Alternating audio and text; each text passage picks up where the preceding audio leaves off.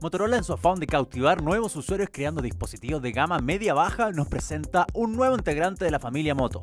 Se trata del Moto E, un teléfono inteligente con Android 4.4.2 KitKat que teniendo un bajo precio entrega características de hardware bastante aceptables. Tiene una pantalla de alta resolución de 4,3 pulgadas que está protegida con tecnología impermeable a prueba de salpicaduras de Corning Gorilla Glass una batería de 1980 mAh, procesador Qualcomm Snapdragon 200 con CPU dual core y 1 GB de RAM. Su almacenamiento puede ser expandido por tarjetas micro CD de hasta 32 GB y posee una cámara posterior de 5 megapíxeles con la interfaz de cámara optimizada de Motorola. ¿Cómo es esto? Que simplemente con tocar en cualquier lugar de la pantalla se puede tomar una foto, obtener imágenes panorámicas o grabar un video.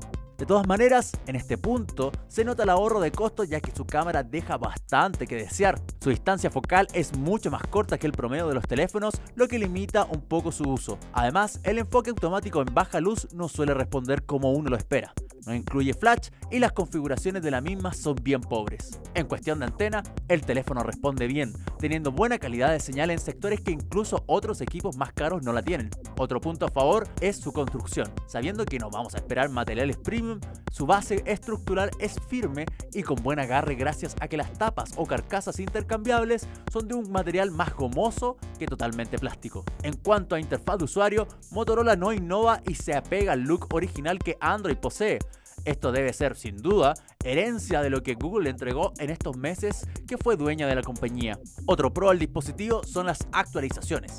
Motorola se caracteriza por ser de las empresas desarrolladoras de dispositivos móviles que más rápido adopta las nuevas versiones de Android, entregando buenas y duraderas experiencias a sus usuarios en torno al software. En conclusión, Motorola Moto E es una buena opción en relación precio y calidad dentro de la gama media-baja de Android en la actualidad.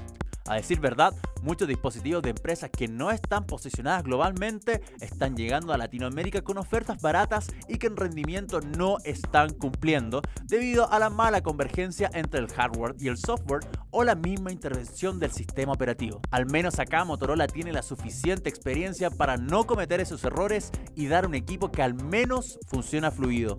De todas maneras, un benchmark al teléfono lo posiciona por debajo de muchos dispositivos que incluso están descontinuados. Pero siendo sinceros, ¿qué esperamos por menos de 180 dólares?